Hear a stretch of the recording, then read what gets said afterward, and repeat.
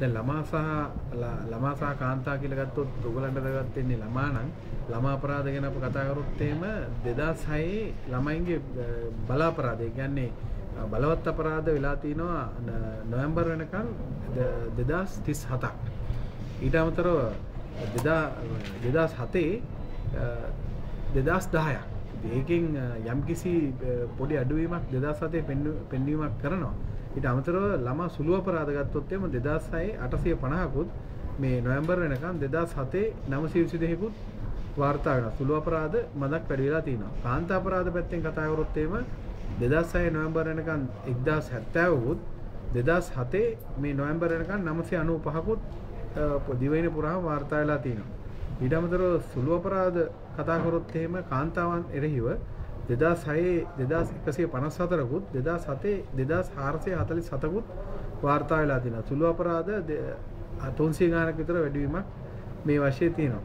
නමුත් ඇත්ත වශයෙන් සලකල බැලුවොත් එහෙම ළමයින්ට එරෙහිවන සිදුවන අපරාධත් කාන්තාවන්ට එරෙහිවන සිපු- සිදුවන අපරාධත් මේ සංඛ්‍යාලේඛනවල මෙසේ පෙන්වුවට සංඛ්‍යාලේඛන 100%ක් නිවැරදිව නෙමෙයි.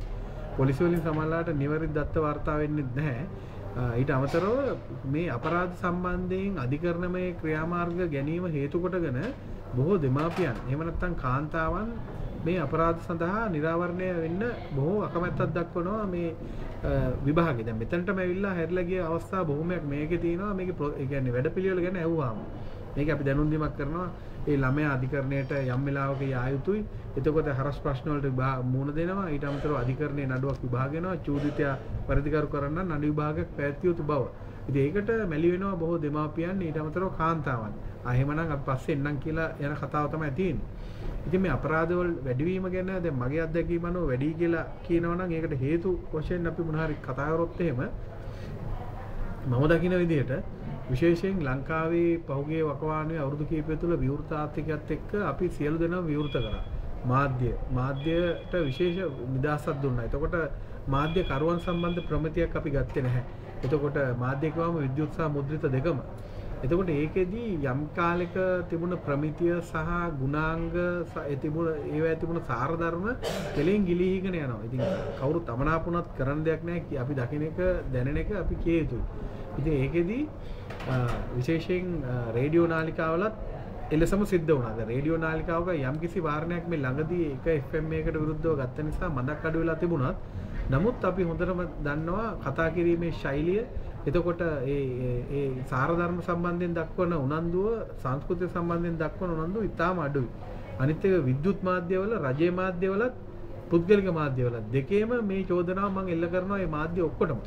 මොකද රජයේ මාධ්‍ය කියලා විශේෂයෙන් යම්කිසි කාලෙක ඒගොල්ලන් ලකුණු දාගන්න හැකියාවක් තිබුණාට දැන් ඒ ඒ බවක් මම නම් දකින්නේ නැහැ. ඒ ඔක්කොම මාධ්‍යකරුවෝ මේ වාංජ රැල්ලට තරුණයන් අ, තරුණයන්ගේ ලකුණු ල- ඡන්ද ලබා ගැනීමේ බලුපොරයකට බැහැලා තියෙන්නේ. මේ බලුපොරය නිර්මාණය වීමේදී ලිංගිකත්වය නිරුවත එතකොට සාරධර්ම නැතුව යන ක- අනවශ්‍ය බටහිරකරණය මේ සියලුම දේවල්ට මුල් තැන දීගෙන තමයි මේ මාධ්‍ය අ, බොහෝ අවස්ථාවල කටයුතු කරන්නේ අධ්‍යාපනික වැඩසටහන් හැර අනිත් විනෝදාත්මක වැඩසටහන් වලදී බොහෝ වෙලාවට නිර්වත පෙන්වීම.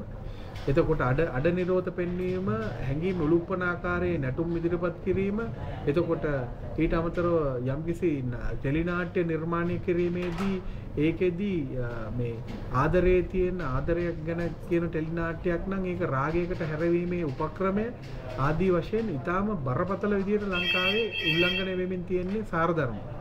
ඉතින් ඒක නිසා ඉස්සර නම් මේ මේ මෙවැනි දෙයකින් හිත ඇවිස්සුන අ, මේ දැන් ල- වෙන බටහිර රටවල් වල මෙවැනි ආකාරයකට සිත ඇවිස්සුනාම සමනය කර ගැනීමේ මගක් තිබුණා. නමුත් අ, ලංකාවේ දැනට එහෙම ක්‍රියාමාර්ගයක් නොමැති නිසා මේකට තියෙන එකම පිළියම මේ යම්කිසි වාරණයක් ඒ කියන්නේ යම්කිසි මණ්ඩලයක් මගින් අ, මණ්ඩලයක් තුලින් කප්පාදු කිරීමෙන් පස්සේ සාරධර්ම ඇතුල් කළා එන දර්ශන වලට මුල් තැන දීමේ ක්‍රියාවලියකින් මිසක් මේ අපරාධ තුරන් කිරීම. මොකද හේතුව අපරාධයක් සිද්ධ වෙන්න නම් යම්කිසි හැඟීමක් අ, කාමුක හැඟීමක් ආපුවම කාමුක හැඟීම Tamanට සමනය කර ගැනීමේ හැකියාවක් නොමැතිකම අ, ප්‍රශ්නයක්. ඉතින් ඒක ඒ ඒ අවස්ථාවේ තමයි අතට අහුවෙන කුඩා ළමුන් එහෙමත් නැත්නම් පාර යන කාන්තාවක් එක්ක මේ ලිංගික හැසිරීමේ යෙදෙන්න උවමනා වෙන්නේ. එතකොට මේක තමයි ලිංගික අතවර බවට පත් වෙන්නේ. ලාං- ලා- කා- කාන්තා සහ ළමා. එබැවින් අපි මේ මේ ප්‍රශ්නයට උත්තරයක් මෑත කාලෙම හෙව්වේ නැත්තම් කාන්තා සහ ළමා මේ ලිංගික අපරාධ සිදුවෙන එක මොනම හේතුවකින්වත් අපිට අඩු කරගන්නවත් අපේ දරුවන් සහ කාන්තාවන් බේරා ගැනීමටවත් කොච්චර කතා කරත් අපිට නොහැකි බව තමයි මට කියන්න තියෙන්නේ.